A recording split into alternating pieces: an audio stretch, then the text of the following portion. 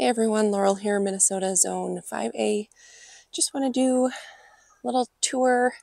Um, gosh, it's already mid-October already. The 12th, which is crazy how time flies. Um, things are still looking good, but we are going to possibly get our first overnight temperatures in the mid 30s. So some things are going to get nipped a little bit, a little bit frost nipped most likely, even though it's not a true frost. But one thing would be the coleus over here. I have Sedona Sunset Coleus on the left. In the middle is Golden Dreams Coleus, and on the right is Lime Time. That little grouping.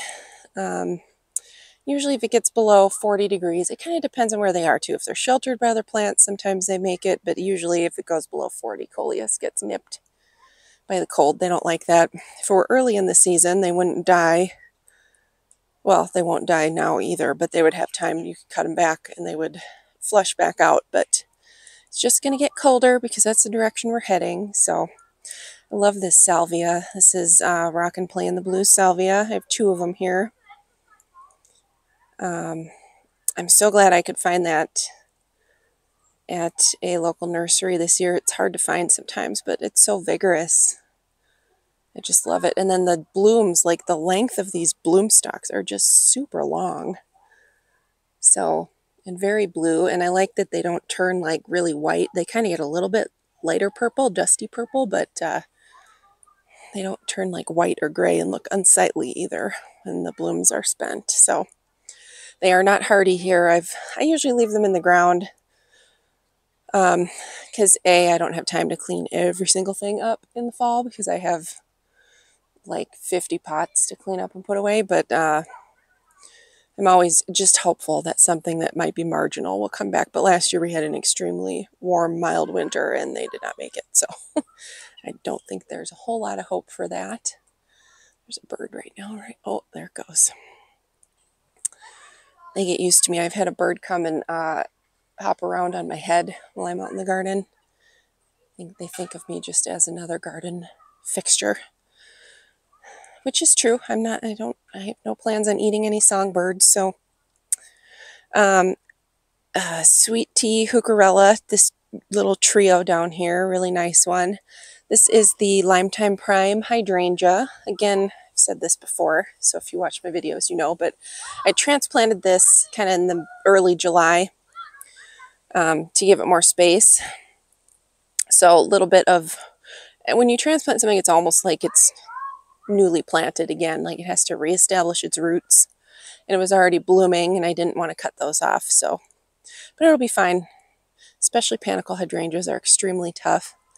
I did clear out, you can see some open space over here and then my sprinkler. We got one tenth of an inch of rain in all of September after being like six inches above average for May, June, July, and August.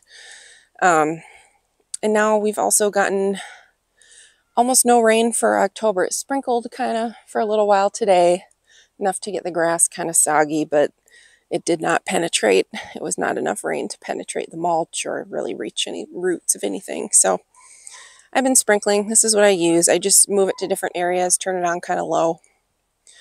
Um, but anyways, this is, I had four Cat's Pajamas Nepeta planted in here, and then a fifth one that I added. I just had to expand the edge of this garden to make room for it. And then I had a Tor birchleaf spirea in here that it did get fungal disease. It's prone to that and it defoliated. I, it would have been fine, um, but with everything growing big around it, um, I think it would just continue to get crowded out and have the same issue.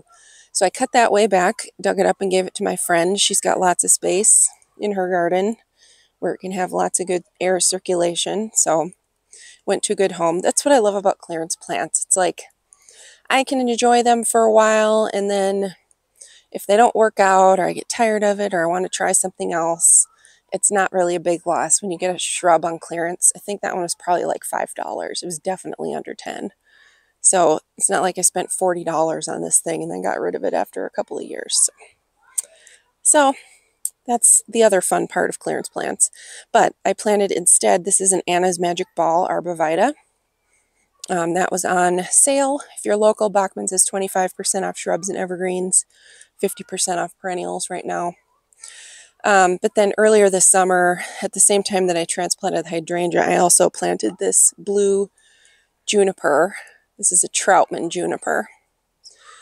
Um, so I especially didn't want the spirea to get real big and then uh, crowd out this in particular. So, of course, the coleus I planted this year over here because they're annual. So um, it'll be different next year, but that's what I do to fill in space. Like next year, this uh, arborvitae will still be small. It'll take a few years, of course, and they only get about uh, foot and a half to two and a half feet tall and wide. So it'll just be, and they stay in this nice little globe shape. So it'll just kind of fill in that space. I'll have the tall things around it. I kind of want to keep this area open as long as I can and just keep planting annuals, but I have another shrub over there sticking up past the uh, salvia. This shrub will get big. So eventually it'll fill in, and in the meantime, I can have fun planting smaller annuals for color in the bare spaces. Um, this is opening act phlox. Again, I cannot remember the name of these. I bought a bunch on clearance at Home Depot last year. In fact, they probably have some this year again. I've seen the like the big pots, and I just get the names all mixed up. but I've got some echinacea over here. This is another proven winner salvia. This is the unplugged blue. Does pretty well, kind of like Victoria blue, very similar. I love this guacamole plectranthus. Again, I picked this one up on clearance late in the season and just plunked it in because I had some bare soil. Plants are the best mulch. That'll die with the frost. Same thing with this gomphrena. Um, but you can collect the seeds from these. This is atomic purple. So when they go, these are the seeds here, these papery. Let me see if there are any that are loose. Some of them just come right out. So these are all the seeds. And when you start gomphrena from seed, what I do is I wet down a paper towel, stick a bunch of the seeds on it, just like this, fold it in half, so that the seeds are kind of surrounded by a damp paper towel. And then I stick it in a plastic baggie like a sandwich bag for about a week. And then I plant, and then I pull them out and plant them. Sometimes they sprout, sometimes they don't, but just that like, that uh, moisture will soak sort of the outer, I don't know what it's called, outer husk or whatever of the seed that protects the germ and it uh, germinates easier. It can penetrate that like outer shell of the seed drift rose uh, finishing up here. Well, it's still still got some blooms and some to open up, but this is its third big bloom of the summer. So, and this one, yeah, this whole bloom head, it's kind of peachy pink and ages to this like more coral with white. You can see like the new buds are kind of peach. Really pretty. I like even the aged blooms. I like that kind of like mottled effect. Not a cutting rose, it's a shrub rose, so it gets these big like clusters of blooms. Very pretty, attractive foliage, super tough. Um, last year I was worried because we didn't have any snow in the winter, so the rabbits ate it down pretty darn far. But it didn't mind one bit. It just bounced right back and got even bigger, so I'm not going to worry about it this year. Um, stuff's looking kind of dry back here. Got a sedum that splits open. Probably just doesn't get enough sun back there. Maybe I'll put a ring around it next year. That's, a, excuse me, kind of have to hiccup.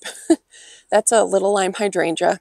We got so much rain that these got weighted down. Typically little lime don't get weighed down for me, but they also grew really really long, vigorous stems early on. So I think that might have been part of the issue was all that rain early on. I'm guessing um, encouraged them to grow really long stems, and that's when they get floppy because I do cut these back pretty hard so that they have, when you cut them back hard, they have thicker, tougher stems and they're less prone to flopping when it comes to panicle hydrangeas. This is the other Anna's Magic Ball. I think this has been in the year, ground for two full years now. So you can see it just stays really compact. This one I'm sure will get a little bit bigger. It's probably about a foot foot around right now. But turns kind of bronzy in the fall and winter color. This is the Noblessa Yarrow. You can see it just keeps blooming. Not nearly as vigorously late in the season, but as long as I keep cutting away some of the brown dead flowers, it'll just keep putting on those little white snowballs, little teeny white snowballs. Um, we've got some night ember sedum here. I did cut back this phlox. This was the luminary opalescent phlox. You can see the the uh, mildew that it got this year because of the moisture. This one is not prone to mildew, however. And the previous year when we've had drought, I haven't had any issues with it, but it just kept blooming and it didn't completely defoliate. So I have this one lone Queeny Lime Red Zinnia here. I'm hoping these make it through. Don't get frostbitten because I have a bunch of bloom buds coming up there. And I got one bonus bloom on my, um, it's kind of aging now. It opened yesterday, I think. The Holy Grail Hardy Hibiscus there. And then right above it, you can kind of see some buds that I'm hoping open up. So just a little few late blooms, which is kind of fun. You can see the really beautiful fall color though. This one has a really sort of deep, dark green purple foliage during the summer. Beautiful dark accent. Um, and then it gets this beautiful fall color, sort of orange and gold colored leaves, which is really nice. I will cut the stems back further this year. They are hollow stems, so insects can use them to overwinter. So you do, it when hollow stemmed plants, one thing I learned is you do want to cut them a little bit so that the, like sedum is another one, so that the insects can actually access the hollow in the stem. If you leave the blooms on all of the stems, they can't really get in there. Maybe they can chew their way in, some insects, I'm not sure. But that was one thing I read, I think, on the extension site University of Minnesota is uh, cut back the stems a little ways, but leave a good length of it so that they can kind of burrow into that hollow opening. We've got just a little random assortment here. This is a um, amethyst treasure zinnia that I grew from seed. It stays compact and small, but that like pop of purple color. I've got some uh, carmine gomphrena. Stuff back here didn't do as well this year, but as I've said in previous videos, this area stayed really wet. This is Diascia, Diascia, Diascia. White one, kind of pinkish tone to the blooms though. That was a clearance plant that I just tested. These were four o'clocks that seeded themselves. These are like the easiest seeds to save. You can see how big and chunky they are. They were very easy to start from seed as well. And they seed themselves all over. So you, whoop, well, I got clumsy, clumsy fingers. But they look like little grenades, these big seed things. So, and I also just learned, and maybe I'll experiment with these, that you can dig them up because they kind of have like rhizomous roots or tuberous roots. So you can also overwinter them bare root. So maybe, but maybe I'll test that out with some of these. Just see, won't hurt anything. Might learn something. The purple aster or blue aster is in full bloom. The last, this is pretty much the last thing to bloom in the garden, last perennial. This aster. I don't know exactly which variety it is because it was not labeled. And then we have the glorious uh, cosmos. These all self-seeded from ones I grew last year. Those are cool back there because they are almost touching the the uh, what eave of the garage. Some of them wilt though. I don't I don't know why that is. I need to look that up and educate myself. But like you can see on this one here, like some of the branches just started wilting and then the center stock everything just wilted. And when I examine it, there's no damage to it. So I'm not sure why they do that. Maybe they're insects or borers or something that I can't see, but I Whenever I cut them back, I don't really see any signs of that, so who knows. I also have an azalea in there. That is Rosy Lights azalea, still kind of establishing itself. And then this is my little hodgepodgey pink area that I planted when my dahlias rotted and or got eaten by voles. This is probably my favorite zinnia that I've that I grow. It's the um, Zahara uh, salmon, double salmon maybe. Just beautiful, compact, bright blooms. so zinnias are always real unfussy, low maintenance. You can see I saved some of the, I plunked some of the dahlia tubers into pots just to see if I could save them. Excuse me. And they are budding up. So I'm hopeful I will be able to save those tubers at least and overwinter them. Hopefully have them next year. Although I've learned I'm not going to plant them back here again. And then this seeded itself. This is a purple hyacinth bean vine. Seed must have dropped at some point and germinated here, and so I just let it grow.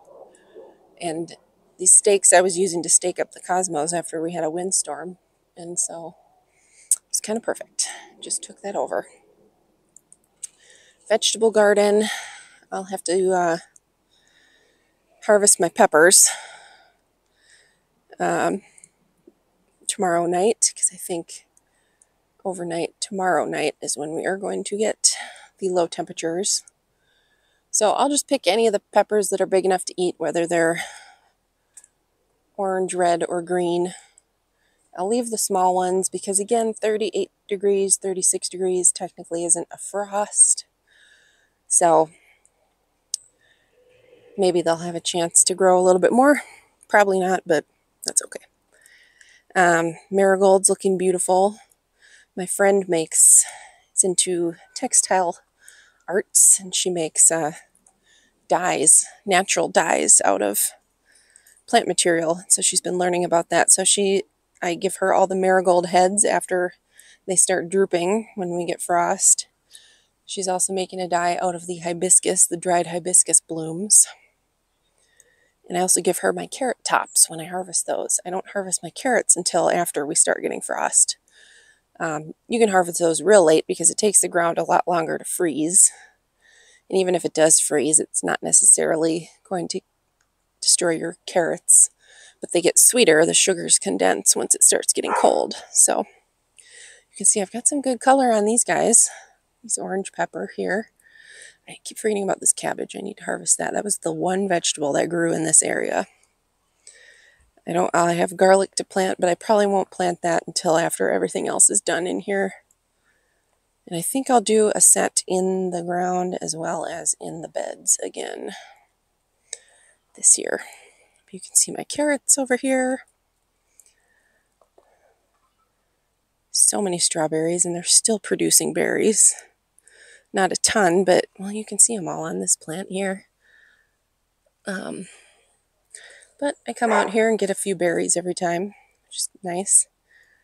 If the bugs don't get them first, although there aren't as many bugs around, the mosquitoes have definitely gotten better, thank goodness. That that'll drive you bonkers, that's for sure. Did for me this year. This is neat too. This is the Sun King Aralia. It gets these little white blooms. You can kind of see the structure here. Um, but they're more poofy when they're in full bloom. And then it turns into these like little berries on them. Be careful what I touch because the wasps like these. So I don't want to grab a wasp on accident or a bee. Bees are on them too. I just love this plant though. It's a great perennial. It gets huge, looks like a shrub, but it dies back to the ground every year. So it's something you can plant in an area where in the winter you need it clear, you need lots of space to clear snow or whatever. I don't know how salt tolerant it is, but uh, you know, if you need bare ground in the winter, but you want a big ornamental shrub looking plant in the summer, this is one to plant.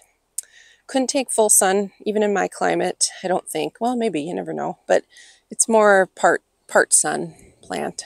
Full shade, to part sun. And the viburnum, I just can't get over this. So cool, these blueberries. This is, I have an All That Glitters and an All That Glows viburnum. This was when they used to sell them separately. I got them both on clearance. Um, but they're pollinators for each other. And you only get flowers and berries if you have a pollinator. I know the Proven Winners website says that Blue Muffin is not a pollinator for either of them, which is their other viburnum.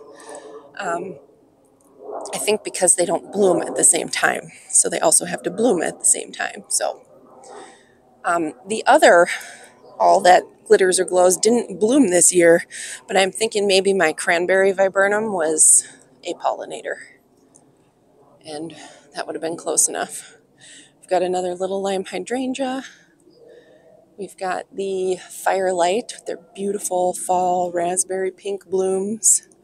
I have been cutting from these. This is the perfect time to cut your hydrangeas because they're kind of, they do have some brown spots um, but they kind of have that like papery texture.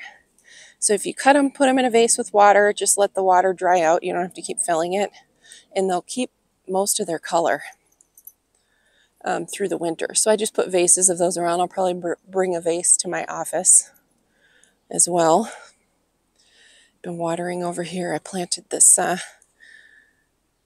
I don't know, these Brunnera, they did so great last year when I planted them here. And the ones over in this area too, I just watered over here. I need to cut back that lungwort. Um, but they struggled this year. Just a tough year for some reason.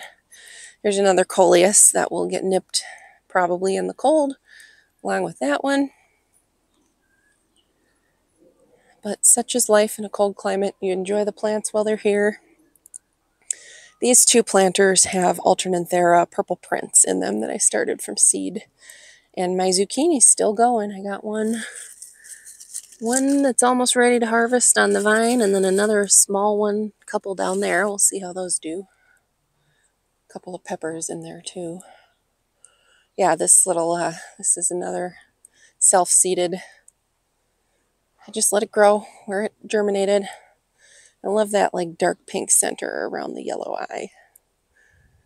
And then there's another one over there that's self-seeded too. So that's fun.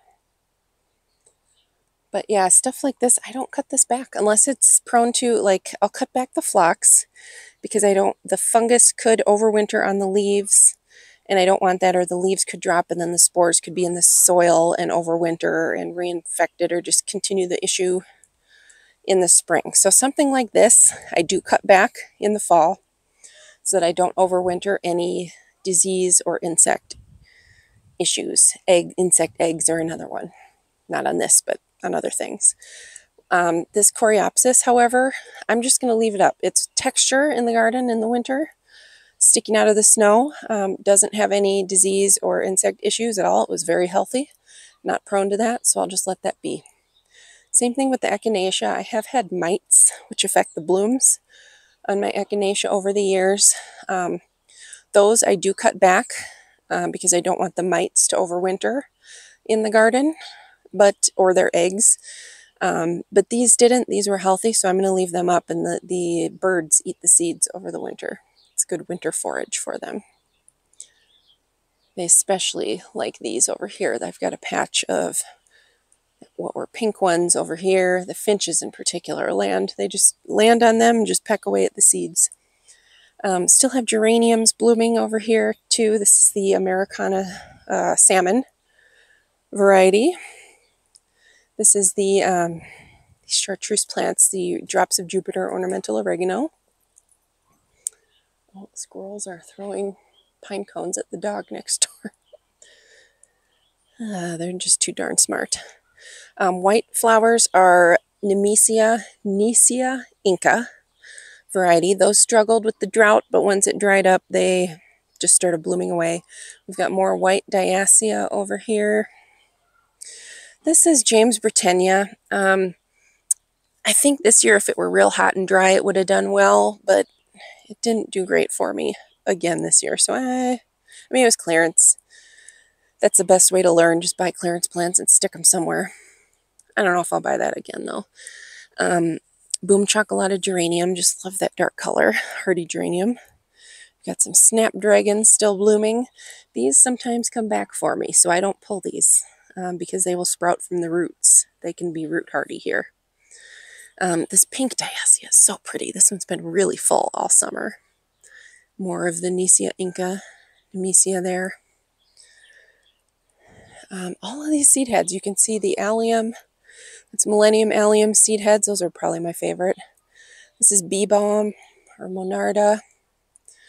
Um, this is a Helenium. I think it's called Fuego. You can kind of see the color that it was. Oh, what the heck? Nice fall, sort of autumnal, like gold and burnt orange tones. Same thing, like I just said, the echinacea, that's all winter texture. So I leave that up. It's something other than just, especially if you get a lot of snow, that sticks out of the snow and then you don't just have this white field of nothing. Um, hosta leaves I generally try and clean up especially if they had slug or this year the earwigs were really bad. So I don't want to overwinter any eggs in the leaves and they just look gross. Once the leaves die, they're just kind of slimy, papery in areas. So I, I wait till they die back all the way though, and then you can just kind of scoop them up with your hand and they just kind of tear right out. So, um, but I have a stained glass hosta there next to the mushroom. That one is June. I'm a big fan of June. That one was really pretty. And this I think is Halcyon blue hosta, although all got full sun this year. Um, so all the blue burned away, but still just really nice. There's like no earwig or slug damage on that, hardly at all. So that one's been pretty solid for me over the years. This is another um, Gomphrena. I think this is the QIS purple from a mixed packet that I bought and just saved seeds um, from Johnny's. Just super low maintenance. I just had extra, so I popped it in here. Another Americana salmon geranium. And then this poor little mum. this used to be huge, but I think last year's snowless winter, it's sort of marginally hardy here. It's come back for me for a few years. It's supposed to be annual, but last year it really died back. I think it just didn't like the either the lack of snow cover or lack of moisture or both. Um, macra, I think it is, just the plain green one. Absolutely love this. It's just so much texture and movement in the garden. It gets these beautiful seed heads, a little bit of fall color on the leaves. Kind of in between these two. Now it's getting taken over. I have more peach tea heucherella.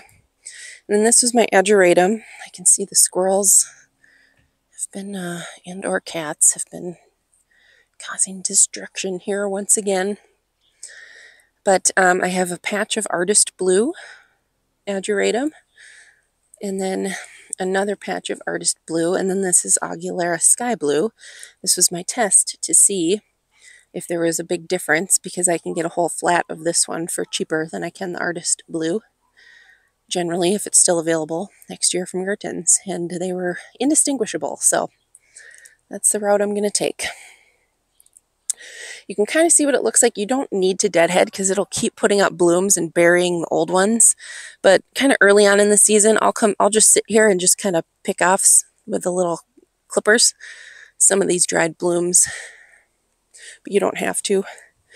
Autumn frost hosta also got pretty much full sun all summer. I trimmed back, it did get burned leaves, but I trimmed back the burned ones kind of later in the season, and then the sun is low enough at that point that some fresh ones popped out. But those are probably the most sun hardy hosta in my garden, or sun tolerant. This patch of Persian shield just did awesome. I don't know if any of the, I think I saw one, there was Forever Purple Heuchera down there that really died back after the winter, and that's why I planted these, was just to mask those. Because I wasn't sure if they were going to come back or not. So that will be a surprise, I suppose. Love this torchlight coleus. That's the one I'll be bummed about getting nipped, along with the orange ones back there behind that canna lily. Those are um,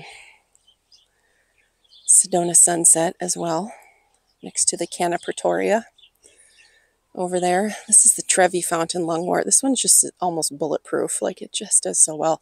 And I have several seedlings from it this year, so that that's exciting. But this area just I kind of was flying by the seat of my pants here. The only thing I planned was sort of from the ageratum over.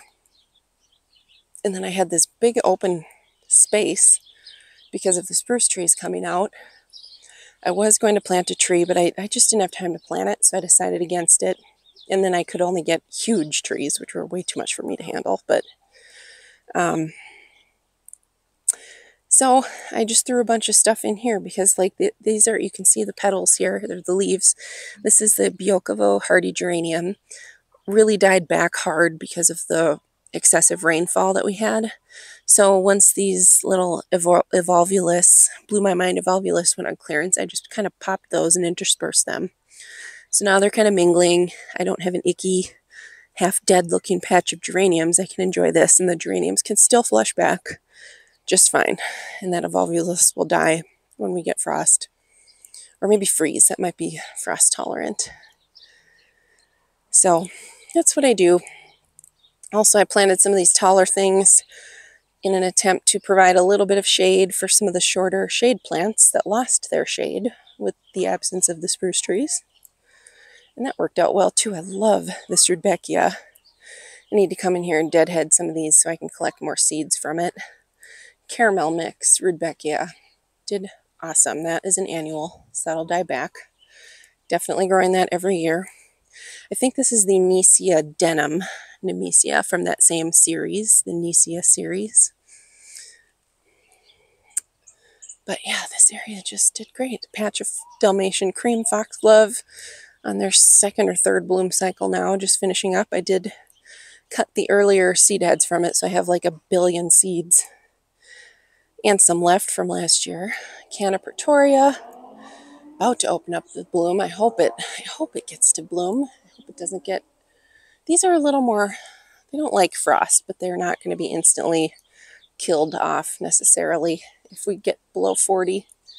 If we get to like 30, yeah. But I do dig up the tubers, save the whole root ball. I knock off as much soil as I can and save the root ball. Uh, my neighbors, you can see, got the fallen center leader of their oak tree cut back. Looks like they're going to leave it. See what it does. Um, they got some help from the uh, their next door neighbor.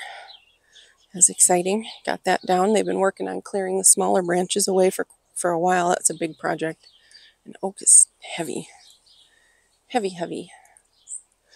Um, more hostas over here. That poor Love the apple green color on this one. That is the um, Fragrant Bouquet Hosta. And man, the flowers live up to that name. They are so fragrant. But we got a lot of earwig damage this year. Kind of late in the year, though. Hostas were really loving it early on with all the rain. Um, we've got the blue drinking gourd, really got burned off. It was not at all blue this year, but unsurprising. I will, I am planning right now, I'll plan over the winter but kind of where this uh, Sedona Sunset Coleus clump is, I think I want to plant kind of a tall, narrow evergreen. I think it would have to be either an arborvitae or a yew because I think this area still gets too much shade for juniper to really do well. Um, but kind of the angle of the sun, it will give a little more shade going this direction, especially at the uh, hot afternoon time. So I think that will really help um, have a little bit of a shade patch where these plants are without having to transplant everything. But we shall see. I've also been, I you can see my pile of mulch. Menards had a broken bag sale. This is just cheap stuff. It's like brown dyed wood mulch, but it was a buck fifty. So I took all the bags that looked mostly full. Um, so I can take over this. I don't expect it to remain brown for very long. I'm sure it will fade, but that's fine. It's just for a walking path. Back here, where all the grass is, back in this area, I just want it to be mulch so it doesn't have to be mowed. Then I want to dot some more tall, narrow evergreens in. This uh, DeGroot Spire Arborvitae got a lot of uh, browning. I don't know if it's because I didn't give it enough water later on. This area, because it is sloped down, the soil stays very damp even when we don't get rain for a while. And this was clearance. It was 10 bucks, 20 bucks, 15, 10, 15 or $20 on clearance. So not a huge expense. Um, I have been watering it and sprinkling it so it gets like a deep soaking. So we'll see. We'll see how it does. It was looking good earlier in the season. This viburnum, just absolutely beautiful fall color, but this means it's sick because it turned this red very early, and that is not good. And I did get under there and kind of look at the trunk, and I'm seeing some damage. Could be borers where this arborvitae is planted. I had another um, viburnum that got attacked by borers or canker, or sometimes it's both. It's they'll get borers and then they'll develop canker from the wounds which is a fungal fungus from the wounds where the borers dug in. So these are the ornamental cabbage that I had extras of and I just plunked back here in the only open dirt I had early on. You can see I used the tarp to clear off all the kill off all the weedy grass. I've just been moving stuff around. This Tithonia did really great here. I wasn't sure if it would because uh, it doesn't get full sun, but did awesome. So I'll plant that next year. I've got this eupatorium that I transplanted. This is sort of my little native corner. Got some things to add. This, um, the Margar sweet Marguerite or something, sweetheart. I don't remember. Proven winners, super clearance was like a buck fifty. So I just threw it back here. All these little plants along there. I had extra elephant ear tubers. I have another overdam calamagrostis that's going to go and complete the clump back there. Right now I just have two. Uh, been working on cutting out this edge too. It's going to have quite a ways to go yet, but it's coming along. And this area is still looking good. I did cut back these impatiens because they were real, they were just not looking good. they were real leggy. So I just cut them back. Don't know if it helped, but whatever. Um, I did have to sprinkle over here, but I planted the three. These are, are they called Paris? They're proven winners. Um, Heuchera. That's supposed to be pretty reliable. I overwintered them last year. So they spent all winter, all last summer, all winter, all spring and summer in their little small plant cans before I planted them, and they still did great and were blooming kind of bright reddish pink blooms. We've got a little patch of, this was just clearance impatiens that I plunked in among the Pachysandra ground cover. I think I'll do that again. That I really enjoyed that. And this was just a multi-pack of begonias, pink and white. Bronze leaf begonias can take full sun.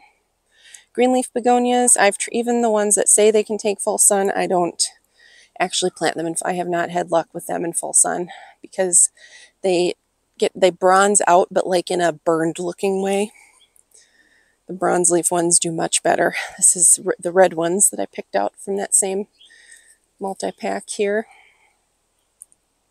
I don't know what went on with these red ones, if they got a little dried out or what, but they were looking just as full and then they got kind of scraggly looking. But begonias are not frost tolerant at all. They're pretty tender, so they're not going to like the cold temperatures either. This raspberry splash lungwort looks much better than the other one. And I'm impressed by these Japanese painted ferns because they got really full sun this year and they're still, they stayed looking good all summer. Wow, you can see, look at that. It's hard to get uh, mid-season to get weeds out of there. Look at that dandelion, that leaf. It looks like another hosta. The leaves are so big. Once they die back, I can get in there and really dig it out. I mean, I could now, but I don't want to. And this you can see the Dichondra Silver Falls kind of getting caught up on the, uh, uh, oh, I got a little bloom. An extra bonus bloom. Let's see if I can get it here. The Clematis, that's Jackmanii. That's fun. I don't prune that one other than in the spring. But we've got this little mixed planter. This is the Amazon Sunset Lotus Vine. Lotus Vine really cool texture, just really and very soft, ferny. It does, I think if in some climates it gets kind of orange blooms on it, but I, I haven't had a bloom for me. But really neat looking from a hanging basket. So, and then below that I have some Solomon seal. This is two different kinds of ajuga here planted in the ground. This is a red dragon geum. I did, that one did so well this year. Um, and Erin from The Impatient Gardener just said the key to keeping geums blooming is uh, deadheading. And I did that more with this one, and I just kind of kept sending out bloom stock. So I got a second one now that I've cut away from some soil so I can plant in here because I enjoyed that. Got some Jacob's Ladder back here. That is the Rainbow's End hosta. One of my favorites. Just looks like kind of watercolor painting. Got some variegated Brunnera. I did plant this was a sale plant too. I think it's White Knight Alyssum. And then we've got this little patch of variegated Brunnera. These hostas were just planted last fall, so they're very much establishing this year. I don't know what went on with this elderberry. This is the red twig elderberry. It's going to be looking right into the sun here. Trying to avoid that. Um, it doesn't normally defoliate like this. It usually stays leafy and gets really pretty gold fall color. But this year, this half of it just defoliated. And I was looking at the trunk. I don't see, at least from, of course, it's in my neighbor's yard. But looking through the fence, I can kind of lean over. I don't see any damage. So I'm not sure. Maybe there's something going on that I can't see from here. But I'm bummed because that's my shade for my little bench. It's my like it's like my borrowed little overhang shrub and it's a native native plant. You can easy to maintain because you can cut it back real hard. So these defoliated branches have buds all over them, so I'm going to leave it alone. I'm not going to, you can see just buds everywhere. So I'm not going to, other than to what I would normally do to trim it, but I'm not going to cut those way back. Um, we've got Bobo hydrangeas, a little trio over here. Again, these were transplanted last fall, so they're still kind of establishing. They liked the rain this year too. And this salvia bloomed. It actually bloomed. We had a long enough season. This is an annual salvia. It's called Rockin' Golden Delicious. Um, I think it's called pine, also common name pineapple sage or pineapple salvia. And it's grown mainly for this bright chartreuse foliage. This is one single plant. I just bought it in a little, one of the Proven Winners, four inch base, their standard starter plant cans for annuals. And it'll say in cold climates it blooms red, but it may not bloom because it blooms real late in the season. So it's mostly grown for foliage. I think the plant can also says it gets about one to two feet tall and wide. And uh, this bloom stock, I'm five foot ten, and this is this is eye level for me. So at least planted in the ground. Last year I planted one in a container, expecting it to get about a you know, is it appropriate sized container for a plant that would get one to two feet tall and wide, and it got huge, so I planted it in the ground later on. This year I just started in the ground, and man, is it huge. But I'm so happy to see it bloom. And if you live in a warmer climate, and look at all these like side shoots. Um, last year, the one that I had, it was about to bloom, and then it got killed by frost. So it is definitely not hardy, and it did not come back for me. But that's fun that I got to see that bloom. Real bright red. It's kind of a cool tone red. It's not an orangey red. It's like a, I don't know if scarlet, is that a blue red? Um, this container's looking pretty tired. this is the Plectranthus, um, oh, what is it? Silver, shoot, I'm forgetting now. That's one plant also, and that got enormous. I know Plectranthus can be really vigorous. I did not expect it to get this big. Silver Shield, is that it? Ah, I can't remember. Kind of looks like lamb's ear, though. I love the texture, although I don't love how the leaves kind of yellow as they age.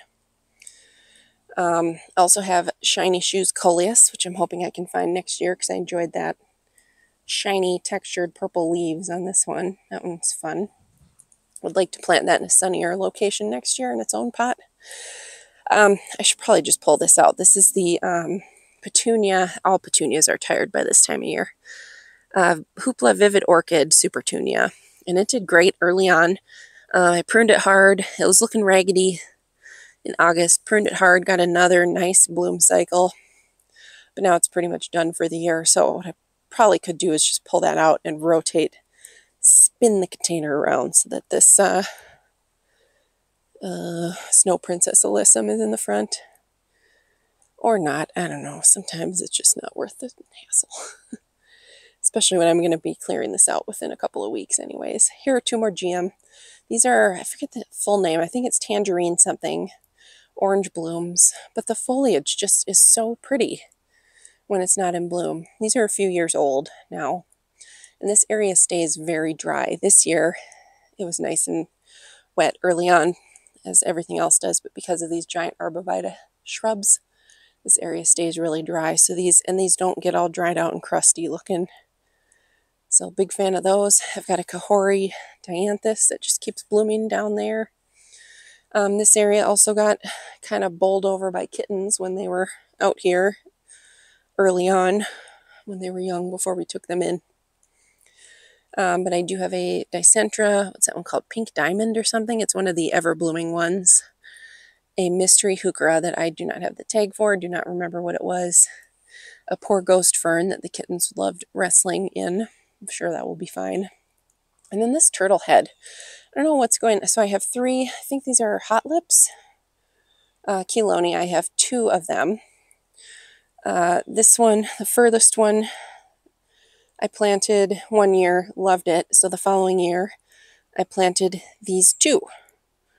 Uh, found clearance plants. This one has caught up and done beautiful. This one, granted, it did get smushed after I planted it. My mom stepped on it on accident when it only had a few branches and crushed it, but it started resprouting. The roots weren't killed, so it started resprouting from the roots. And it just, I just watered it too, and it still looks like that. So I don't have a lot of hope for that one. Again, at least it was clearance. I tried. Honeysuckle doing great. The aphids were much, much better this year. So I'm hoping I got them under control and I won't have any issues next year.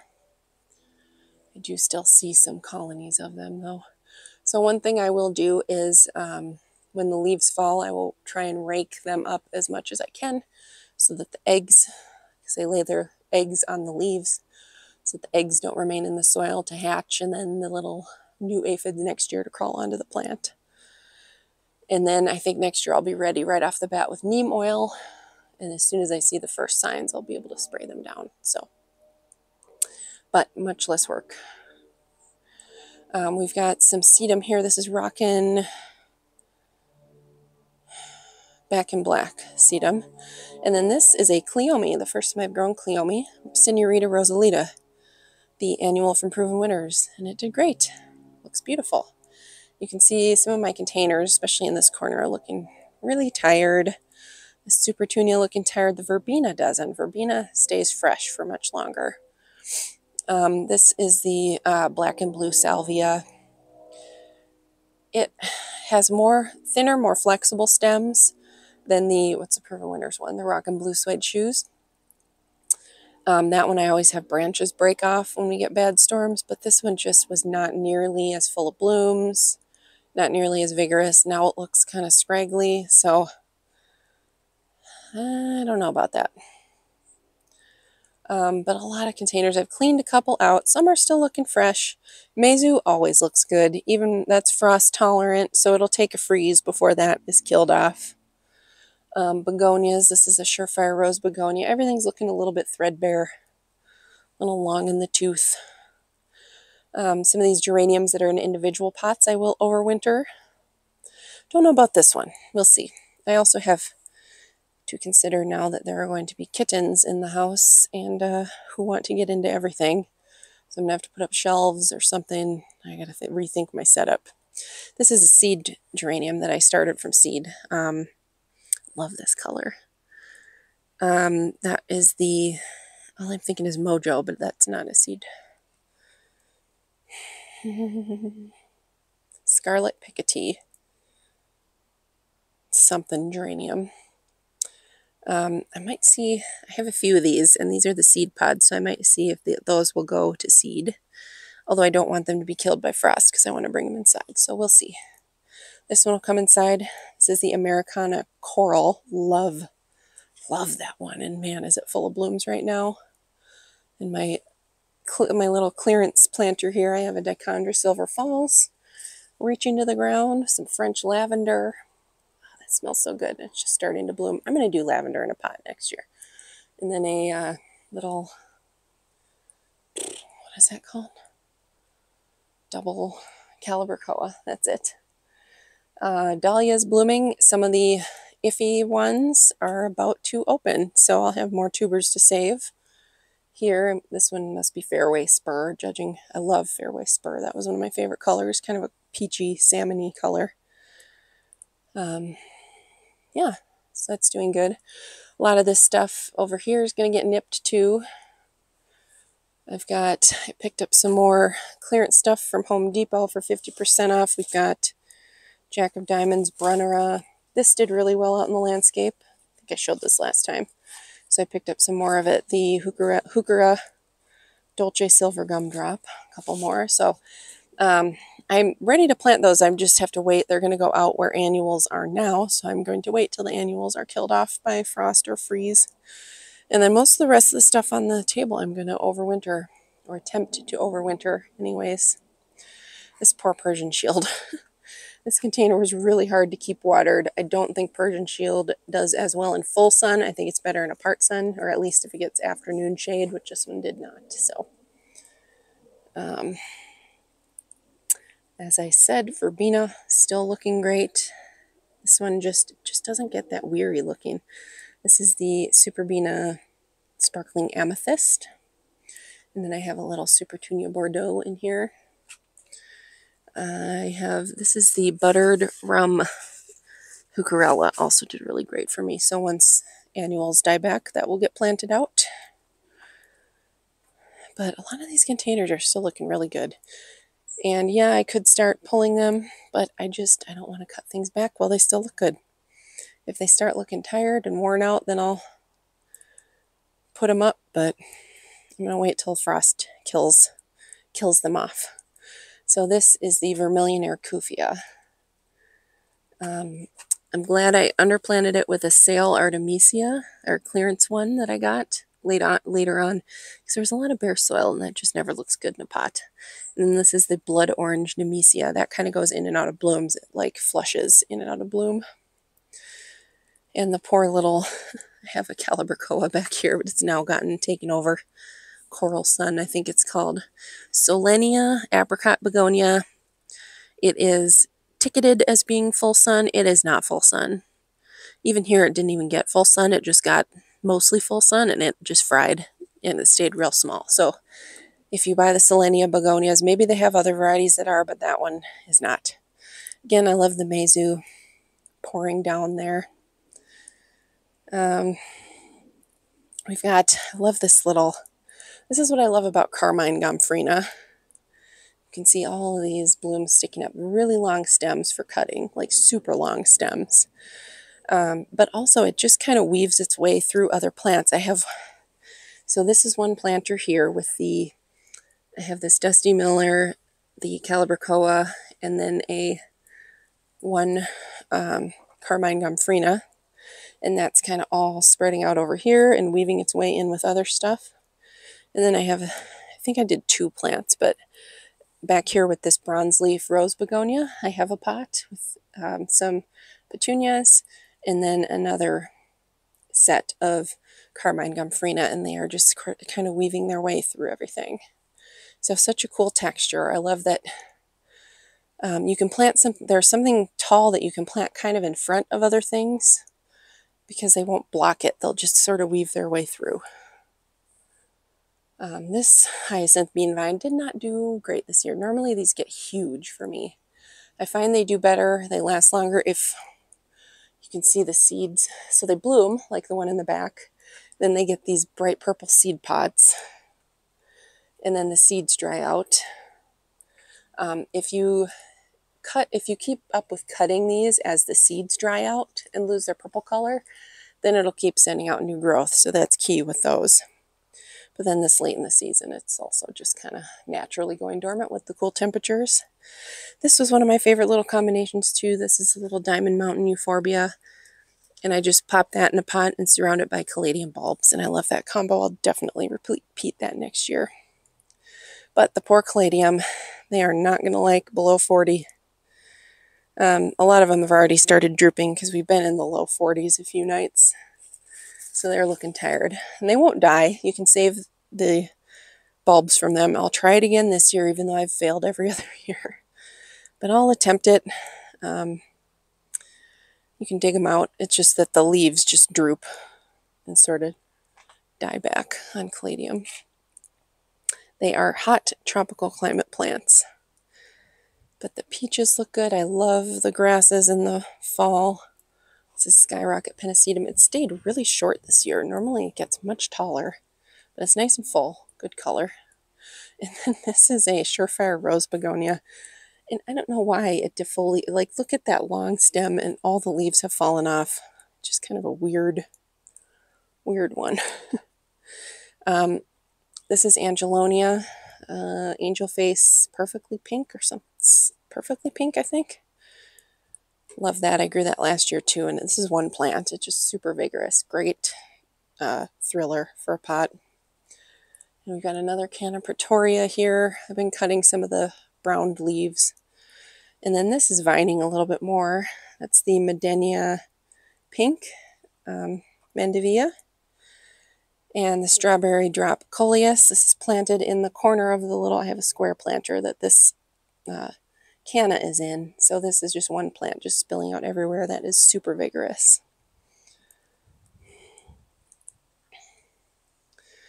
But I just love all the foliage together over here. All of these Rex begonias go inside.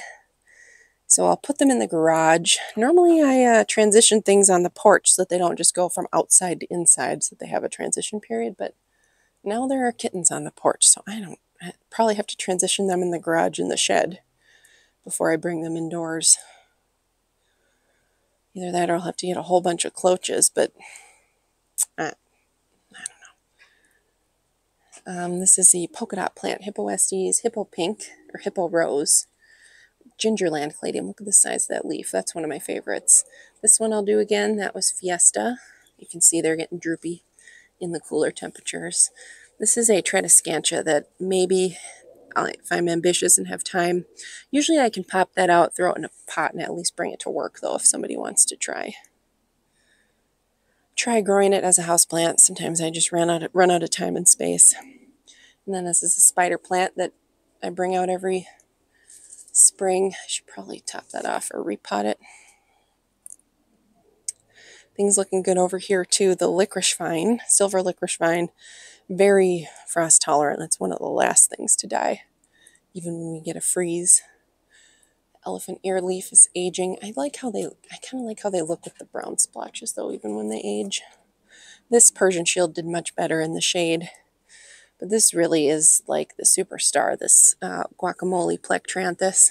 There's one plant, single plant planted right about back there, and it just kind of spread everywhere. I love this um, illumination, Browallia peeking through. I like how everything mingled over here.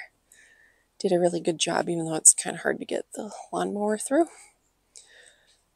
And then this is covering this, but there's another Rex begonia on that stand with Dichondra Silver Falls coming down.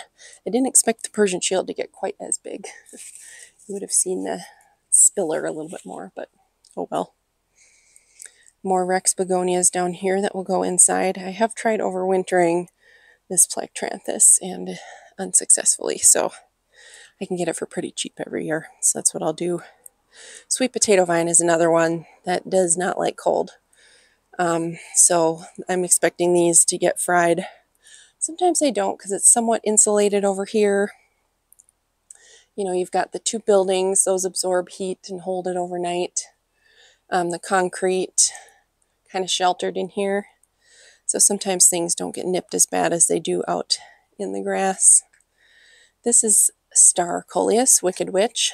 One, one single plant for that whole huge thing and it didn't start blooming till the end of August. I have grown that before in full sun. This is in full shade.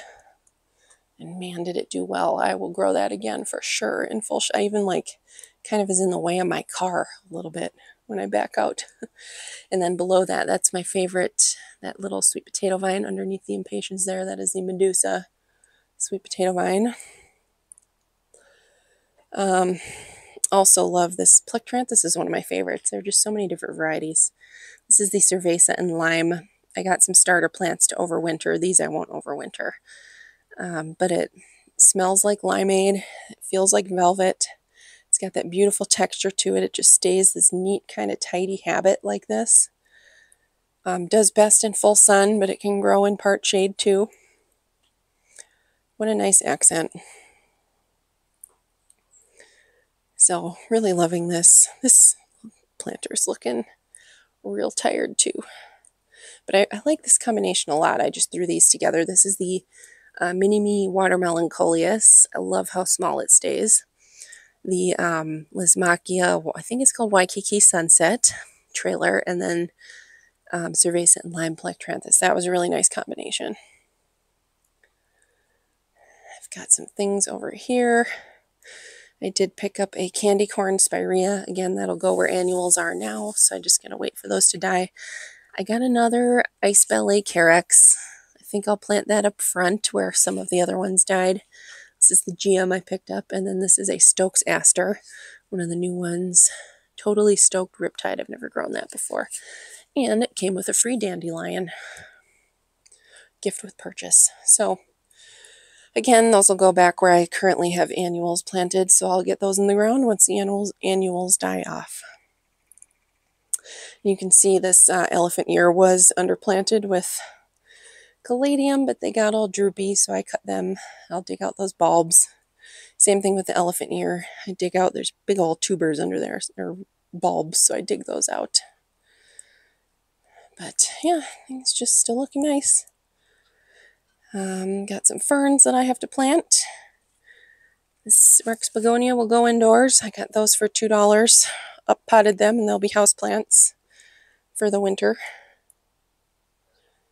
Um, and then this over here, we've got an, uh, mum, non-hardy mum.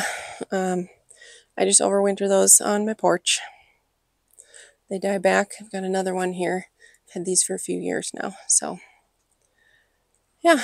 And then another uh, coleus that'll get nipped, although that one's looking pretty tired at this point too. So, all right, I'll end it there. I was going up to the front garden, but this, this is getting mighty, mighty long, so maybe I'll show that another day. And just enjoy the stuff back here for now. So anyway, thank you so much for watching. Have a great day. Hope you're enjoying your autumn. And please subscribe.